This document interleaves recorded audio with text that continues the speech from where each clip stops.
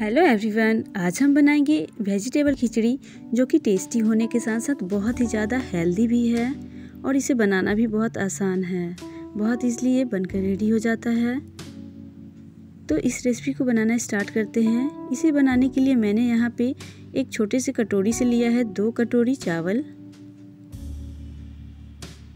एक कटोरी अरहर का दाल, एक कटोरी मसूर का दाल और एक कटोरी मूंग का दाल। इन्हें हमें भिगा के रखना है दस मिनट तक। उसके बाद हमें इसे अच्छे से दो तीन बार धो लेना है। यहाँ पे एक कुकर गरम करेंगे और इसके अंदर डालेंगे सरसों का तेल। तो मैं सरसों के तेल में इस खिचड़ी को बना रही हूँ। यहाँ पे लेंगे कुछ खड़े गरम मसाले, जीरा, एक लाल मिर्च, एक तेज़पत्ता और एक हरा मिर्च। इसे फ़ौरन में डाल देना है हमें। कलर चेंज होने के बाद इसके अंदर हम सब्जियों को ऐड करेंगे तो यहाँ पे डालेंगे एक कप गोभी। गोभी को बड़े टुकड़ों में मैंने काट लिया है। एक कप डालेंगे आलू। आलू को भी बड़े शेप में काटा है। एक छोटा कप डाल देते हैं गाजर। इन सब्जियों को हमें भुनना है।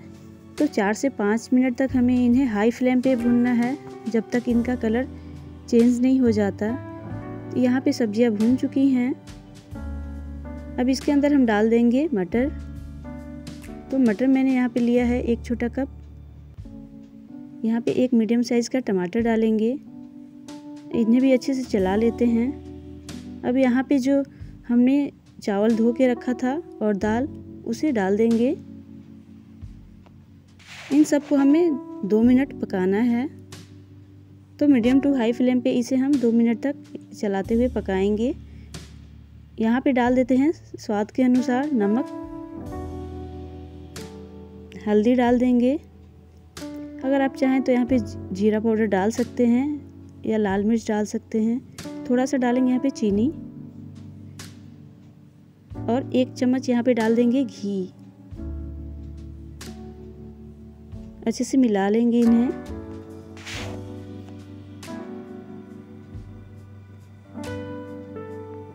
यहाँ पे हम डालेंगे गरम पानी। तो बेहतर होता है कि गर्म पानी यूज़ करें। तो ये जो क्वांटिटी है, इसके डबल हमें पानी डाल देना है इसमें। पानी ज़्यादा रखना है हमें।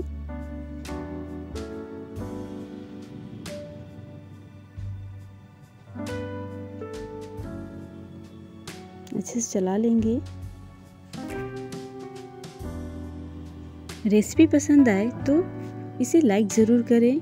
और साथ ही साथ चैनल को सब्सक्राइब भी करें ताकि आने वाली वीडियो आपको ईज़िली मिल सके।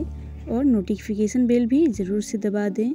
ढक्कन लगाने के बाद हम इसे दो सीटी आने तक पकाना है। तो फ्लेम को हाई रखेंगे और दो सीटी आने के बाद फ्लेम को हमें ऑफ़ कर देना है। उसके बाद कुकर को ठंडा होने के लिए रख देंगे। जैसे ही कुकर से प्रेशर निकल जाती है तो इसने हम खोलेंगे और इसके अंदर डालेंगे धनिया पत्ता। इन्हें अच्छे से मिला लेते हैं। अब यहाँ जो हमारा खिचड़ी है, वो आप देख सकते हैं, बिल्कुल परफेक्ट बनकर रेडी हो चुका है। ये खिचड़ी सर्व करने के लिए बिल्कुल रेडी है तो इसे एक सर्विंग बोल में निकालते हैं और इसे हमें धनिया पत्ता से गार्निश करना है। और घी डालेंगे, घी के साथ इसे हम सर्व करेंगे। ये खिचड़ी बहुत ही ज़्यादा अच्छी बनती है। तो यहाँ पे डाल देंगे धनिया पत्ता।